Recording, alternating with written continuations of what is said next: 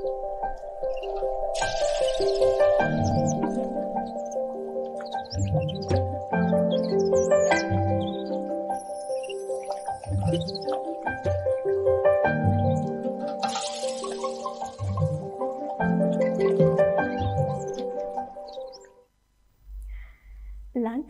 උසම කන්ද පිදුරු තලාගල කන්ද. හැබැයි වැඩිපුරම මිනිස්සු නරඹන්න යන්නේ එහෙම නැත්තං වැඩිපුරම වන්දනා කරන්න යන්නේ සමනල කන්ද. මොකද සමනල කන්ද තියෙන විශේෂත්වය නිසා. එහි සුන්දරත්වය නිසා. ලංකාවේ උසම දෙයල්ල බඹරකන්ද දෙයල්ල. හැබැයි වැඩිපුරම මිනිස්සු නරබන්න යන්නේ දුන් හිඳැල්ල. ඇයි ඒ දුන් හිඳැල්ල එතරම් සුන්දර නිසා. ඒ කියන්නේ මොකක් හරි විශේෂත්වයක් තියෙනවා නම් සුවිශේෂී බවක් තියෙනවා නම් හැඩක් තියෙනවා නම් ලස්සනක් තියෙනවා නම් එතනට හැමෝම ඇදිලා යනවා. ඒක තමයි විශේෂ බව වෙන්නේ. ඒක තමයි කැපිලා පේන්නේ. ඇයි මම මෙතරම් මේ කැපිලා පේන එක ගැන කතා කරන්නේ? මේ විශේෂ බව ගැන කතා කරන්නේ? හැඩකාර බව ගැන කතා කරන්නේ? සුන්දරත්වය ගැන කතා කරන්නේ? වචන ගොඩක් තියෙනවා. ඔව් වැඩසටහන ආරම්භයේ සිටම මා ඔබත් එක්ක කතා කරා සුන්දරත්වය ගැන. අපි කියමුකෝ සුන්දරත්වයේ නිමැවුම්කාරිය කාන්තාව කියලා. මම ඒකට එකඟයි. කාන්තාව හරිම සුන්දරයි. කාන්තාවගේ සිනහව හරිම සුන්දරයි. කාන්තාවක් වැඩිපුරම සුන්දරව පේන්නේ මම අහලා තියෙන්නේ සාරියට කියලා. ඒ කියන්නේ සාරියට කාන්තාවක් හරි හැඩයි කියලා බොහෝ දෙනෙක් කියනවා. හැබැයි සාරියක් නිර්මාණය කරන්නත් හිත ලස්සන වෙන්න ඕනි. හදවත සුන්දර වෙන්න ඕනි. අන්න එහෙම හිත ලස්සන කෙනෙක්ට හදවත සුන්දර කෙනෙක්ට අපි ආරාධනා කරා ඇයත් බොහොම හැඩකාරයක් රුවැත්තියක් ඒ වගේම හැඩට සාරි නිර්මාණය කරන සාරි නිර්මාණ ශිල්පිනියක්. ආයි බෝවන් කියා ඔබ බොහොම ගෞරවයෙන් පිළිගන්නවා පූර්ණිමා ජයලත් පතිරණ මහත්මිය. ආයි බෝවන්. මම කිව්වනේ කාන්තාවක් වැඩිපුරම හැඩයි කියලා බොහෝ දෙනෙක් කියන්නේ සාරියට කියලා. ඔබත් බොහොම ලස්සන රෝස පාට සාරියකින් හැඩ වෙලා ඉන්නවා. හරිම හැඩකාරයි ඒ වගේම හරිම ලස්සනයි. මෙතරම්ම සුන්දර විදිහට සාරි නිර්මාණය කරන්න ඔබේ ඔය අත් දෙකෙන් පටන් ගත්තේ කොහොමද? අපි මුලටම කියොත් ඔව් කසුනේ ඇත්තටම එක ටිකක් දිග කතාවක්. මම පාසල් අධ්‍යාපනයෙන් පස්සේ මම කෙලිම අවතීර්ණුනේ රැකියාවකට. ඔෆිස් එක ජොබ් එකක් කරන්න ගොඩක් ආසාවෙන් හිටියා. ඉතින් ඒ හින්දා මං ප්‍රයිවට් ෆර්ම් එකක විද්‍යාඥ නිලධාරිනියක් වශයෙන් කටයුතු කරා. ඉතින් එහෙම කාලයක් ගෙවිලා යද්දී මගේ මැරේජ් එක මට දරුවෝ තුන් දෙනෙක් ඉන්නවා. ඉතින් ඒගොල්ලෝ හම්බුණා. ඊට පස්සේ කාලේ මට අවුරුදු 14ක් විතර මගේ රැකියා කාර්යයෙන් පස්සේ හදිසියෙන් මට රැකියාවෙන් සමුගන්න වුණා මේ මගේ සැමියාගේ මවගේ වියෝවත් සමග. ඉතින් ඊට පස්සේ කාලයක් මම දැන් රැකියාවෙන් සමුදීලා දරුවන්ගේ වැඩ කටයුතු බලාගෙන ගෙදර හිටියා. ඉතින් ඒ ඉන්න කාලෙදී මට අර බබාලා ඉස්කෝලේ ගියාට පස්සේ නිකන් හිතුණා අර කාලේ අපරාධයක් කියලා. අර අපිත් අර කසුනි දන්නවා ඇති දැන් අපි ඉස්කෝලේ දැන් පාසල් අධ්‍යාපනයෙන් පස්සේ කෙලින්ම රැකියාවකට ගියාම අපි කාලේ නිතරම නිතරම මොනවා හරි දෙයකට වැය කරනවානේ. දැන් අරම ඉන්න ගියාම මේ කාලේ අපරාධයක් කියලා දැනෙනවා ගොඩක් අපිට. ඉතින් ඒ නිසා මම කල්පනා කරා ව්‍යාපාරයක්. පුංචි කාලේ ඉඳලා මගේ ආසාව තියෙනවා සාරිය. සාරි නිර්මාණය ඒවා ඒ කරන විදිය ඒවා ගැන ආසාවක් තිබුණා. ඉතින් කොහොමත් මම ෆැෂන් ඩිසයිනින් කෝස් එකකුත් කරා. ඒක ගොඩක් දුරට ස්ටඩි කරා මම. ඊළඟට ඉතින් ඒ අදහසුත් එක්ක මගේ සහෝදරියගේ අදහසක් ආවා අපි සාරි ව්‍යාපාරයක් පටන් ගමුද කියලා. ඉතින් අපි ඒ ගැන කටයුතු කළා මගේ සැමියාගෙනුත් මේ ගැන විමසලා එයාගෙත් කැමැත්ත අරගෙන මම පුංචියට මගේ ව්‍යාපාරය පටන් ගත්තා. සාරි නිර්මාණය, සාරි විකිණීම ඒ විදියට පටන් ගත්තා. දැන් සාරි නිර්මාණය කරනවා කියලා කියන්නේ මම අර කන්ද ගැන දියඇල්ල ගැන කිව්වා වගේ ඒකත් සුවිශේෂී කමක්නේ කෙනෙක්ගේ. එතකොට මේ සුවිශේෂී හැකියාව ඔබ ප්‍රගුණ කරේ පාසල් කාලයේ ඉඳලමද නැත්නම් අර මැද කෝස් එකකදීද? ඔව් මම මේ පාසල් කාලයෙන් පස්සේ මගේ රැකියාව කරන අතරතුර තමයි මම මේ කෝස් එක කරේ. Fashion designing. පාසල් කාලේ එහෙම මේ සාරි නිර්මාණය කරණය පිළිබඳව එහෙම අදහසක් පුංචියට හරි හිතේ තිබුණේ නැහැ. එහෙම තිබුණ නැහැ. ඇත්තටම කසනේ මගේ ආසාව තිබුණේ මේ රැකියාව ඔෆිස් එක ජොබ් එකක් තමයි මගේ ඇත්තට ආසාව තිබුණේ. හැබැයි මට මම ඒකෙදි සාරි තමයි යන්නේ. කැෂුවල් උත්තෙන්දා සාරිය ගැන ආසාවක් තිබුණේ ඔය ඩිසයින් කරන ඒවා, බතික් සාරිස් මේව ගැන මට ආසාව තිබුණා. ඒ විදිහට තමයි. හොඳයි. දැන් අපි ආර්ථිකයේ පැත්ත චුට්ටක් කතා කරොත් සාරි නිර්මාණය කරන තුලින් කෙනෙක්ට ගොඩක් සල්ලි හොයාගන්න පුළුවන්ද? ලාභයක් ලබා ගන්න පුළුවන්ද? ඇත්තටම පුළුවන්. ඒ කියන්නේ දැන් සාරි එක එක ඩිසයින්ස් වලට අපි නිර්මාණය කරන්න පුළුවන්. සාරිය දැන් සාමාන්‍ය ගන්න නිකන් මැටීරියල් එකක් ගත්තත් ඒකේ අමුතුම අලංකාරයක් දීලා ඒ සාරිය යුනික් ඩිසයින් එකට අපිට ගන්න පුළුවන්. ඒකට ඒ කියන්නේ සාමාන්‍යයෙන් දැන් වැයවන මුදල බැලුවත් ඒ මෙටීරියල් එකට වැයවෙන මුදලට වඩා ඒක ඩිසයින් කරාට පස්සේ එන ඒකේ වැලියු එක වටිනාකම වැඩි. ඉතින් ඇත්තටම ඒක හොඳ දැන් ස්වන් රැකියාවක් විදිහට කරන්න ඇත්තටම මම කාන්තාවන්ට කියන්නේ ඇත්තටම වටින දෙයක්. ඒ වගේම බතික් සාරීස් කරන්න පුළුවන්. බතික් ව්‍යාපාරය අපේ දැන් බතික් මේ කර්මාන්තය ලංකාවේ ගොඩක් ප්‍රසිද්ධ කර්මාන්තයක් ශ්‍රී ලංකාවටම ආවෙනික වෙච්ච. ඉතින් ඒ වගේ බතික් සාරීස් ඒ වගේ දේවල් කාන්තාවන්ට කරන්න පුළුවන්. ඉතාමත් ඒ කියන්නේ තමන්ගේ ස්වන් රැකියාවක් විදිහට කරගෙන යන්න පුළුවන්. එතකොට මේ මේ වෙද්දී ඔබ කරන තව මොනවා හරි කටයුතු තියෙනවද සාරි නිර්මාණය කිරීම විතරද කරන්නේ? නැත්නම් තව මොනවා හරි ක්ෂේත්‍රයකට යොමු වෙලා ඉන්නවද? අපි සාරි නිර්මාණය තමයි විශේෂයෙන්ම කරන්නේ. අපි ෂොප් එක තියෙනවා මාතර සිල්ක් රිපබ්ලික්. ඒකේ අපි බ්‍රයිඩල් සාරීස් එතකොට නෝමල් වෙඩින් සාරීස් ඊට පස්සේ ඔෆිස් සාරීස් කොටන් සිල්ක් හැම වර්ගෙම සාරීස් ෂොප් එකේ තියෙනවා. ඊට අමතරව කස්ටමර් කෙනෙකුට අවශ්‍ය නම් වෙන යුනික් ඩිසයින් එකකට එයාට මෙටීරියල් එක එයාට අවශ්‍ය විදිහට එහෙම කරන්න අවශ්‍යතාවය තියෙනවා. අපි ඒ විදිහට කස්ටමයිස් සාරීස් කරලා දෙනවා. දැන් මේ වෙද්දි මේ සාරියක් ගන්න වෙළඳපොළට ගියාම හරි ගණන්. එතකොට සාමාන්‍ය කෙනෙක්ට දැන් මනාලියක් වෙන්න බලාගෙන ඉන්නවා නම් හරිම අමාරුයි සාරියක් මිලදී ගන්න. Tamanට අතේ තියෙන මුදලකට ඇත්තටම දැන් සාරියක් නිර්මාණය කරගන්න පුළුවන්ද?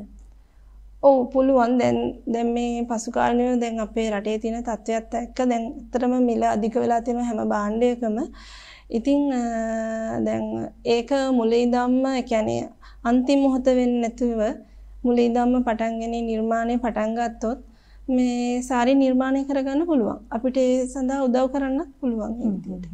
ඔබගේ එහෙම පෞද්ගලික උදව් කරන්න පුළුවන් ක්‍රමයක් තියෙනවද ඔබට?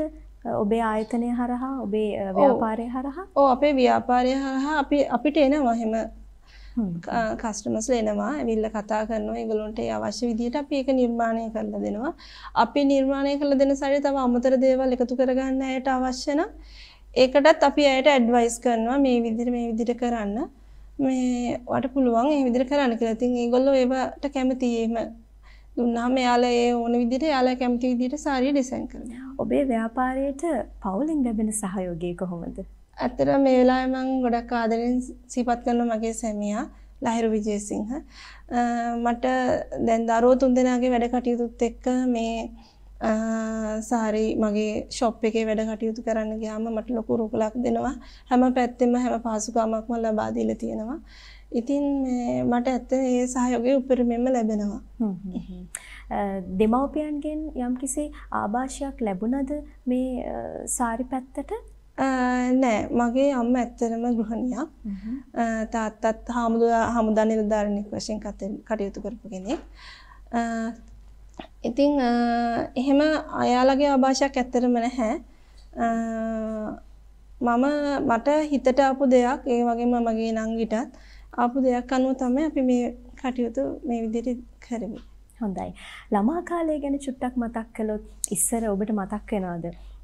පුංචි කාලේ දැන් මටත් මතකයි මම පුංචි කාලේ තම්මගේ සාරියක් පටලවගෙන හීල් එකක් දාලා හෑන්ඩ් බෑග් එකක් එල්ලගෙන අපි ඒ වගේ සෙල්ලම් කරලා තියෙනවානේ. ඔබටත් එහෙම මතකයක් තියෙනවද? සාරි පිළිබඳව එහෙම පුංචි කාලේ මතකයක්. ඕ කසනීක තමයි මං කිව්වේ අර මට සාරි ව්‍යාපාරයක් පටන් ගන්න කියන හැඟීමක් මුලදී පාසල් අවදියේ නොතිබුණාට සාරිය ගැන ආසාව තිබුණ ලොකුවටම. ඉතින් ගෙදරදි සෙල්ලම් කරද්දි සාරිය ඇඳගෙන ඒ වගේ දේවල් කරා. ඒ වගේ මේ සාරි ඩිසයින් ටීවී එකේ හැම පෙන්නනකොට ඒවත් ආසාවෙන් බලන් හිටියා.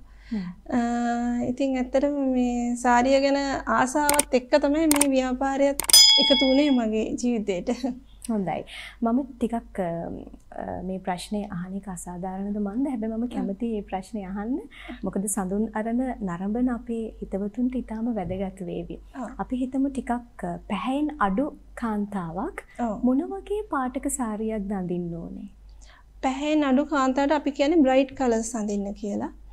මොකද මේ තව ලයිට් කලර් එකකට ගියොත් එයාගේ පැහැ තවත් අර ඩාර්ක් ගතිය වැඩි වෙනවා. එහින්ද අපි කියන්නේ හොඳ බ්‍රයිට් කලර් එකක් අඳින්න. තද්ද පාට නෙවෙයි බ්‍රයිට් කලර් එකක් අඳින්න කියලා. පාටක් කියන්න පුළුවන්ද ඒ වගේ? ගත්තොත් ඔය නේවි බ්ලූ එක. මැජෙන්ටා මේ මං ඇඳන් ඉන්න කලර් එක. ඒ වගේ කලර් එකක් ඇඳහම කසුනේ යාගේ හැමේ පෙනුම පැහැපත් වෙලා පේන්නේ. කියන්නේ හැමේ පෙනුම තමයි ඉදිරිපත් වෙන්නේ. අපි දැන් සාරි එකක් කස්ටමර් කෙනෙක් ආවම අනිවාර්යෙන් එයාට අන්දනවා සාරිය.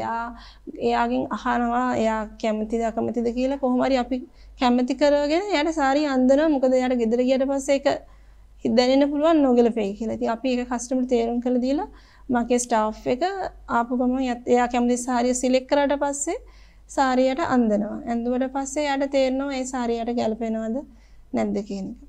ඉතින් අපි ඒ වෙලාවේ යාට ඉතින් ඇඩ්වයිස් කරනවා Tamanට කුමන්ද ගැලපෙන සාරිය මොන වර්ණයද මොන මැටීරියල් එකද කියන එක අපි යාට ඇඩ්වයිස් කරනවා. ඊට අමතරව දැන් අපි ශ්‍රී ලංකාවේ කාන්තාවන්ට ඇත්තටම ගැලපෙන අපි ඉන්දියාවෙන් ඩිරෙක්ට් සාරිස් ගෙන්නන්නේ. ගැලපෙන යුනික් ඩිසයින් එක තමයි ගෙන්වන්නේ. ඉතින් ඒ ගෙන්වහම අනිවාර්යයෙන් මේ සාරියක ෆාස්ට් මූවි. ඒ සාරිය අනිවාර්යෙන් යනවා. එයාට මැච් වෙන හින්දා. සාමාන්‍යයෙන් ගොඩක් අපේ ශ්‍රී ලංකා කාන්තාවන් ගොඩාක් මේ දරුණු විදිහටම වර්ක් කරපු සාරි අඳින්නේ නැහනේ. ගොඩක් දුරට නෝමල් සාරි. දැන් අද කාලේ නම් යුවතියන් විශේෂයෙන්ම අඳින්නේ නැහැ. ගොඩාක් හෙවි ඩිසයින්ස්. ගොඩක්ම නෝමල් ඩිසයින්ස් වලට තමයි යන්නේ. ඉතින් අපි ඒ කාලයට අදාළ වයසට ගැලපෙන සාරි එක තමයි ඉන්දියාවෙන් ගෙන්නන්නේ. ඔබේ උත්සාහයෙන් ඔබේ කැපවීමෙන් ගොඩක් දුර ඔබ මේ වෙද්දි ඇවිල්ලා තියෙනවා. මට හිතනවා මේ මං ළඟ තියෙන සම්මානයත් ඔබේ උත්සාහයක ප්‍රතිඵලයක් ඔබේ කැපවීමක ප්‍රතිඵලයක් කියලා මම කැමති ඒක දැනගන්න. ඔව් ජාතික ව්‍යවසායික සංවර්ධන අධිකාරියෙන් බෙස්ට් විමන් එන්ටර්ප්‍රනර් ඒ කියන්නේ හොඳ ව්‍යවසායිකා මේ වින එක මට අවෝඩ් එක හම්බුණා 2020 21 අවුරුද්දේ. ඇත්තටම සතුටුයි මම ඒ වෙලාවේ ගොඩක්ම මං ස්තුති කරනවා මගේ කාර්ය මණ්ඩලයට. ඉතින් අපේ මහන්සියේ ප්‍රතිඵලයක් තමයි මේ වර්ඩ් එක. ඇත්තටම සතුටුයි ගැන. කියන්න වචන නෑ නේද? ඒ තරමට සතුටුයි. මටත් සතුටුයි ඔබේ මේ සම්මානය වෙනුවෙනුත් අපි සුබ පැතුම් එක් කරනවා සඳුන්වරණ වැඩසටහනේ. මොකක්ද ඔබට කියන්න තියෙන්නේ පාරිභෝගිකයන් වෙනුවෙන් සාරියක් මිලදී ගන්න එනකොට මොන වගේ මනසක් හදාගෙන දෙන්න ඕනේ එතනට? ඔව් හොඳ ප්‍රශ්නයක් අසුනේ. ඇත්තටම සාරියක් ගන්නාම ආවට ගියාට සාරිය ගන්න එක ඇත්තටම සුදුසු නැහැ. සාරියකුත් දැන් පොඩි මිලකට නෙමෙයි තියෙන්නේ. සාරි මිල දැන් ඇත්තටම ඉහළ තත්යකට ගිහින් තියෙන්නේ. ඉතින් ඒ ගන්නකොට Tamanට ගැළපෙන සාරිය, Tamanට ගැළපෙන වර්ණය ගැන හිතේ තියාගෙන විල ගන්න එක තමයි හොඳ. දැන් මං අත්දැකීමෙන් දන්නවා සමහර කලබලයට සාරිය අරන් ගියත් දවසෙන් දෙකෙන් සතියෙන් ආයෙ එක එක්ස්චේන්ජ් කරගන්න වෙනවා. ඒගොල්ලොන්ට හරියන්නේ නැහැ කියලා හිතිලා. ඉතින් හොඳ සාරියක් වෙඩින් එකකට එහෙම ගන්නවා නම් ඇත්තම දැන් සාරි මිල අධිකයි වෙඩින් සාරි ගන්නකොට. ඉතින් ඒ හින්දා හොඳට ඇඳලා බලලා Tamanට ගැලපෙනවද කියන එක මිරර් එකෙන් ෂොප් එකේදීම බලලා සාරිය ගන්න එක තමයි හොඳම දේ. ඔබේ මේ අනාගත බලාපොරොත්තු ගැන කතා කරොත් මේ ක්ෂේත්‍රයෙන් ඔබ ඉදිරියට යන්නේ බලාපොරොත්තු වෙන්නේ කොහොමද? ඔව් ඇත්තටම දැන් මගේ ගොඩාක් බලාපොරොත්තු ගත්තාම අපි ඇත්තටම පුංචියට පටන් ගත්තේ කසුනිමි ව්‍යාපාරය. ඒ කියන්නේ මේන් රෝඩ් එකකත් නෙවෙයි. මම සාමාන්‍ය පාරක පුංචියට අපි පොඩි ප්ලේස් එක තමයි පටන් ගත්තේ. අද අපි මේන් රෝඩ් එකේ හොඳ ස්ථානික අපේ ස්ථාපනය කළ තියෙන අපේ ව්‍යාපාර ස්ථානය. ඒක සෙක්ෂන් වයිස් තියෙනවා බ්‍රයිඩල් එතකොට ඔෆිස් සාරීස් කොටන් සාරිස් එම සෙක්ෂන් වයිස් තියෙනවා හෑන්ඩ් පේන්ටඩ් සාරිස් ඉතින් තව දුරටත් මට මේකේ දැන් අපේ මේ යුනික් ඩිසයින්ස් අපි ඇත්තට අපේ ස්ටාෆ් එක මම වෙනම දාලා තියෙනවා. දැන් ඉන්දියාවේ යන නවතම ඩිසයින්ස් ඒවා ඒවා අප්ඩේට් කරන්න. ඒ ඩිසයින් එක අපේ කස්ටමර්ට ලබා දෙන්න. අපේ ඩිසයින්ස් ඔක්කොම ස්ටඩි කරනවා බලනවා. ඒ අනුව අපි සාරිස් මැටීරියල්ස් අරගෙන සාරීක මැනුෆැක්චර් කරනවා. ඉතින් ඉදිරියටත් ඒ ඒ වැඩ කටයුතු තව තවත් සාර්ථක කරගෙන හොඳම දේ කස්ටමර්ට ලබා දෙන්න ක්වොලිටි ප්‍රොඩක්ට් එකක් දෙන්න තමයි මගේ ඉතින් ඉදිරි ආසාවත් වෙන්නේ. ව්‍යාපාරෙත් තවත් පුළුල් කරගෙන තව මම කැමති ලංකාවේ තව බ්‍රාන්චස් අපේ දාන්න සිල්ක් රිපබ්ලික් නාමෙන්. ඒක තමයි ඉතින් බලාපොරොත්තුව තව අපේ ඉන්නවා ස්ටාෆ් එක කියන්නේ රැකියාවල් බලාපොරොත්තුවෙන් ඉන්න කාන්තාවන් ඉන්නවා. ඉතින් එයාලටත් රැකියාවල් ලබා දෙන්න පුළුවන් මගේ ව්‍යාපාර තව දියුණු වුණොත්. ඒ වගේ ආසාවල් තමයි තියෙන්නේ. ව්‍යාපාරික කාන්තාවක් ඉදිරියේ මම මෙහෙම ඉන්නකොට මටත් ඇත්තටම පුංචි ආඩම්බරයක් තියෙනවා. මේ වගේ සම්මානත් අරගෙන මෙතරම් ගමනක් එන්න කාන්තාවක් විදිහට ව්‍යාපාරිකාවක් විදිහට ලේසි පහසු නෑ මේ ගමන. මේ ගමනේදී මොන වගේ අභියෝගද ඔබට ආවේ? ඔව් අභියෝග කියන්නේ දැන් ඇත්තටම අපි ව්‍යාපාරය පටන් ගන්න අදහස ආව වෙලාවේ දැන් සාරි එතන වෙළඳාම පටන් ගන්න හොඳ ස්ථානයක් හොයා ගන්න ඕන දැන්. ඒ ස්ථානේ හොයාගන්නදි ටිකක් අපිට අමාරු වුණා. ඊට අමතරව ඊළඟට අපේ ප්‍රාග්ධනය ස්ටොක් එක අපි ගන්න ඕන පර්චස් කරන්න ඕන ඒකට මුදල් හොයා ගන්න ඕන ඒ කටයුතු වලදී. ඒ වගේම ඊට පස්සේ අපි ස්ටාෆ් එක ඇත්තන මුලදී කෙනෙක් වගේ තමයි මගේ ස්ටාෆ් එක හිටිය එක ළමෙක් විතරයි. ඒ විදිහට අරගෙන තමයි කරේ. ඉතින් අනිත් එක තමයි ව්‍යාපාරය පටන් ගැනීමේදී දැන් අපි අපේ මේ වෙළඳාමට කියන්නේ ව්‍යාපාරයට අලුත් අයනේ අපි ප්‍රවීණයෝ නෙවෙයිනේ. ඉතින් ඇත්තටම බැංකුවෙන් අපිට ණය පහසුකම් අයරවල් ගන්නත් අපිට ලැබුණ නැහැ. ඉතින් එදිනෙදා අපි ව්‍යාපාර කටයුතු කරගෙන යද්දී ඒ අදාළ සේල් එකෙන් තමයි ඒක අපි ඇඩ් කර කර ඊළඟ පර්චේස් එකට යන්නේ. ඉතින් ඒව ලොකු අමාරුයි. ඉතින් අභියෝගතා. ඉතින් කාන්තාවක් වුණාම ඉතින් තවත් කාන්තාවන්ට මම කියන්නේ ඉතින් අපි මේ සේල් එකක් කරා නම් පුංචිට පටන් ගනින්දි ඒක තවත් වියදම් නොකර ඒක තව තවත් වැඩි කරගෙන ඊළඟ ස්ටෙප් එකට යන්න ඕනේ. නැතුව ඇත්තටම බැංකුව වලින් සහාය එහෙම ගන්න ඇත්තටම අමාරුයි මුලදී. ටික කාලයක් අවුරුද්දක් දෙකක් යද්දි තමයි අපිට අර අපේ අපි ස්ථාවරයකට ආවම තමයි අපිට මේ බැංකුව වලින් උනත් උදව් ලබා ගන්න පුළුවන් මේ ආපු ගමන පිළිබඳව ආපස්සට හැරිලා බැලුවොත් ඔබ මොකද හිතෙන්නේ? සතුටක් තියනවද? ඔව්. ඇත්තටම සතුටුයි. අතර මේ අවෝඩ් එකත් ඒකේ ප්‍රතිඵලයක් කියලා මං කිව්වේ ඇත්තටම හරිම සතුටුයි මම හිතුවටත් වඩා මගේ වැඩ කටයුතු සාර්ථක වෙලා තියෙනවා. ඇතම දරුවන් තුන්දෙනෙක්ගේ අධ්‍යාපනය දීලා ඉතින් වැඩ ගෙදර වැඩ කටයුතුත් කරගෙන තමයි මම මේ ව්‍යාපාර වැඩ කටයුතු කරන්නේ. ඉතින් ඒ ගැන ඇත්තටම සතුටු වෙනවා. හොඳයි. ඊටාම දක්ෂ කාන්තාවක් බොහොම දක්ෂ සාරි නිර්මාණ ශිල්පිනියක්. ඒ විතරක් නෙමේ හරිම සුන්දර බිරිඳක්, සුන්දර මවක්. ඉතින් කාන්තාවක් විදිහට අපිට මේ ලෝකේ පය ගහලා ඉන්න අපේ වටපිටාව තුළ හොඳ තැනක් හදාගන්න ලොකු අභියෝගයක්. ඉතින් ඒ අභියෝගය බොහොම සුන්දර විදිහට කරගෙන ඇය මේ ගමන ඇවිල්ලා තියෙනවා. ඉතින් අපි පූර්ණිමා ජයලත් පතිරණ මහත්මියට බෙහෙවින්ම ස්තුතිවන්ත වෙනවා. අද දවසේදී සඳුන් නරම වෙනුවෙන් ඔබ පැමිණියාට අපිට ආලෝකයක් වුණා ඔබව. thank you. ඒ වගේම මම මේ අවස්ථාවේ සඳ ටීවී ආයතනය අසුනිය ඇතුළු කාර්ය මණ්ඩලයටත් ස්තුතිවන්ත වෙනවා මට මේ අවස්ථාව ලබා දුන්නට. හොඳයි බොහොම ස්තුතියි. ඉතින් ඔබටත් ඔබේ ජීවිතයේ ආලෝකමත් වේවා කියලා තමයි අපි ප්‍රාර්ථනා කරන්නේ. මම ආපහු කියනවා නම් ඔබ පිදුරු තලාගෙන කන්දට ප්‍රේම කරන්න. ඒක ගොඩක් හොඳයි. හැබැයි ඔබ සමනල කන්දට තවත් ආදරය දෙන්න. ඔබ බඹර කන්දට ප්‍රේම කරන්න. හැබැයි ඔබ දුම්හිඳ ඇල්ලට තවත් ආදරය වෙන්න. ඔබ සුවිශේෂී කෙනෙක් වෙන්න. එතකොට ඔබට මේ වගේ ඉදිරියට යන්න පුළුවන්. හමුයමු නැවතත් සඳුන් අරණින්. Thank you.